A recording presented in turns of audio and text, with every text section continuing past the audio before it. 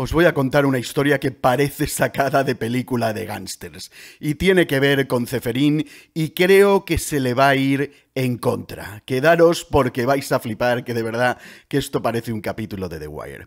Hola, hola, hola, madridistas, ¿cómo estáis? Bienvenidos a Madridista Televisión, el videoblog más madridista de todo el internet. El 22 de febrero saqué un vídeo, por aquí os dejo el link, en el que os explicaba los planes que tenían los equipos de la Superliga de hacer un nuevo torneo de verano en Estados Unidos, pero ya no algo en plan amistoso, así eh, como han sido los torneos habitualmente de pretemporada, eh, sino un torneo con unos premios muy importantes de dinero y con una participación de cuatro equipos, una mini Superliga con cuatro equipos que serían Juve, Milan, Barça, Real Madrid, en la que jugarían todos contra todos, o sea que veríamos partidazos auténticamente alucinantes en la costa oeste de Estados Unidos para poder atender también a audiencias asiáticas, no solo el potencial del mercado americano, sin afectar al mercado europeo, porque serían partidos muy de madrugada. Y este asunto ha tenido una derivada absolutamente increíble y delirante que yo creo que se le va a ir en contra al mafioso de Ceferín. Os pongo en situación. La empresa Relevant Sports, que es, como os digo, una empresa organizadora de eventos que organizaba, entre otras cosas, esta International Champions Cup, aquella copa que se organizó en Estados Unidos con equipos muy potentes, el City, el Arsenal, el Tottenham, el Madrid, el Barça, el Atlético de Madrid, la Juve, etcétera, prácticamente todos equipos Superliga.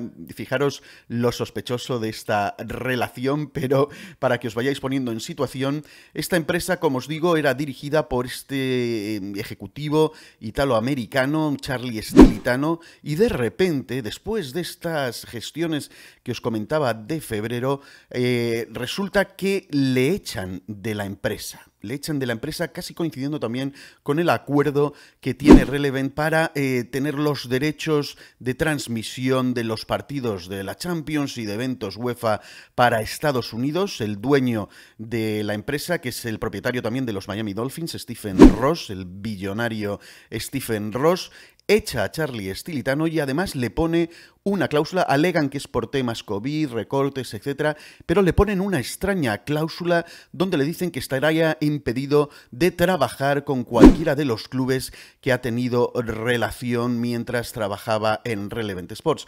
Él, por supuesto, no ha aceptado este asunto y se pone en contacto con Ceferino para ver por qué eh, Stephen Ross le está echando y encima le pone esta extraña cláusula y quería saber si eh, él entiende que no puede trabajar con equipos eh, de la UEFA. Y Ceferín, Ceferín, le pone un por escrito además, es que es así de tonto, es que este señor es imbécil. Le pone por escrito que dejadme que lo busque y os lo leo. Os voy a leer parte del artículo del New York Times de donde estoy sacando la noticia sobre este asunto del mensaje. Dice, el mensaje de Ceferín, este que os digo, mafioso, que ya os lo leeré, porque es que este tío es así de tonto.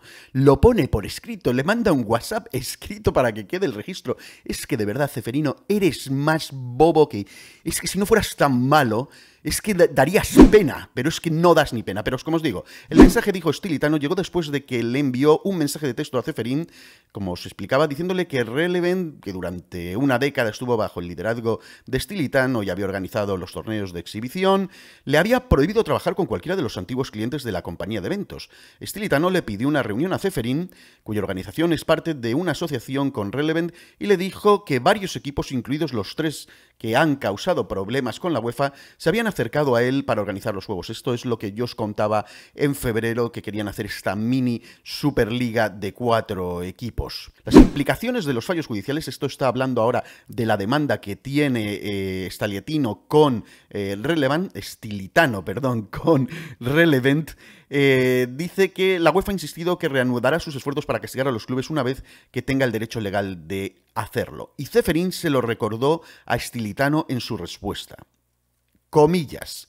He oído hablar de tu negocio con los tres clubes, dijo Ceferín en el mensaje de texto que se ha incluido en la demanda de Stilitano. Stilitano lo ha presentado el mensaje de Ceferín en esta demanda que tiene con Relevant. Esos clubes, dice Ceferín, no causaron problemas con la UEFA. Intentaron destruir a la UEFA, al fútbol y a mí personalmente. Es una pena que no lo entiendas. El hecho de que trabajes con ellos significa que yo, la UEFA o cualquier persona en la que pueda tener influencia, no tendremos ninguna relación comercial privada contigo hasta que estés del otro lado. Fijaros el mensajito de Ceferín le dice que yo, la UEFA, o sea, atribuyéndose cualquier historia también de la institución, o cualquier persona que pueda tener, en la que pueda tener influencia. O sea, voy a mover todos mis hilos para destruirte y que no puedas trabajar hasta que te pases a mi lado. Si esto no es una práctica mafiosa que demuestra todo lo que está diciendo y explicando los clubes Superliga en contra de Ceferín, que baje Dios y lo diga. Esto yo creo que se va a poder utilizar en la Corte de Luxemburgo en contra de Ceferín, porque esto es tremendo. Es tremendo, dice los abogados de Stilitano, describieron el mensaje de Ceferín como amenazante. Quedó claro que Ceferín y la UEFA, y por extensión su nuevo socio Relevant, le estaban declarando la guerra a Stilitano por considerar una afiliación con los tres equipos, escribieron los abogados. La UEFA negoció recientemente un contrato con Relevant eligiendo a la compañía como socio comercial para vender los derechos de transmisión de las competencias como la Liga de Campeones en América del Norte. Y también están discutiendo la posibilidad de que Relevant organice una competencia fuera de temporada que sería avalada por la UEFA. Le han preguntado a Ceferín sobre este asunto. Eh, sobre este asunto de Stilitano. Dice, cuando me di cuenta de que en realidad estaba cooperando con ellos al mismo tiempo, decidí terminar cualquier relación con él, dijo Ceferín. Dijo que estaba más enojado porque un mensaje de texto privado había sido revelado en una presentación pública. O sea, le cabrea que muestren las, sus putas amenazas que él ha enviado por escrito. Y este tío además es que es tonto, no sabe que el, el propietario del mensaje puede desvelar este asunto, que es una amenaza que está recibiendo. Claramente no necesita ni siquiera pedirle ningún permiso a Ceferín para revelar las amenazas que le ha puesto por escrito. Dice, nunca hablé con nadie sobre esto porque tengo cosas más importantes de las que ocuparme que lidiar con Estilitano, dijo Ceferín. Al usar públicamente la correspondencia privada, Estilitano mostró cuáles son sus valores morales. Pero qué cara dura tienes, Ceferino. Eres un impresentable. Además de mafioso, eres tonto. Eres tonto del culo, pero tonto de lo, de lo más tonto. Es que no se puede ser más tonto. Tú sabes, no sé, tonto de la mata. O sea, de estas cosas ya está enraizado en tu personalidad. ¿Cómo te atreves encima a tachar la catadura moral de Stilitano por presentar tus amenazas? Pero si es que, primero eres bobo por hacer esas amenazas por escrito. Segundo, eres un puñetero mafioso porque estoy ahora convencido de que Stilitano tiene razón y que su separación de Relevant tiene que ver por presiones tuyas casi seguro. Porque sabes de la buena relación de Stilitano con los clubes Superliga. Hay fotos de él con Butragueño, con Arbeloa. Estoy seguro. Además, como el mismo Estilitano dice, se han aproximado a él estos clubes para organizar eventos en Estados Unidos. Y la prueba es lo que yo os comentaba en febrero. Y estoy convencidísimo de que después de esos anuncios de febrero es que has metido baza para que echaran a Estilitano. Es que es evidente que lo has hecho, pero es que esto se va a ir muy en tu contra. En el juicio que hay en Luxemburgo, en la UEFA, estoy seguro de que se podrán presentar estas pruebas también porque demuestran claramente la práctica mafiosa que tienes. ¿Cómo te atreves a tachar la catadura moral después de haber dicho, eh, por escrito, de haberle dicho, el hecho de que trabajes con ellos significa que yo, la UEFA o cualquier persona en la que pueda tener influencia, yo, la UEFA o cualquier persona en la que pueda tener influencia, no vamos, no tendremos ninguna relación comercial privada contigo hasta que esté, comercial o privada contigo, hasta que estés del otro lado.